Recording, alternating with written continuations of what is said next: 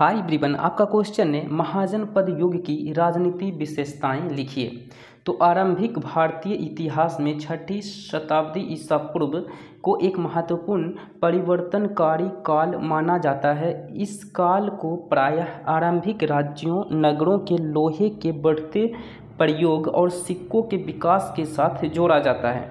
इसी काल में बौद्ध तथा जैन सहित विभिन्न दार्शनिक विचारधाराओं का विकास हुआ।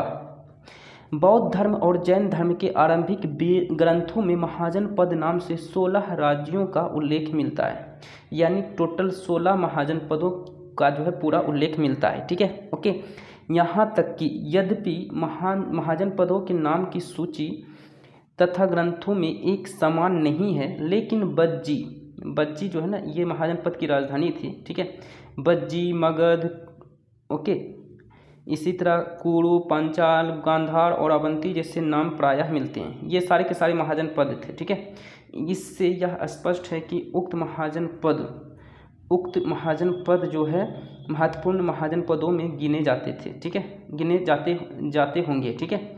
अधिकांश महाजन पद पर राजा का शासन होता था, लेकिन गण और संघ के नाम से प्रसिद्ध राज्यों में कई लोगों का समूह शासन करता था। इस तरह प्रत्येक व्यक्ति राजा या राजन कहलाता था, ठीक है? So thank you like share and subscribe so thank you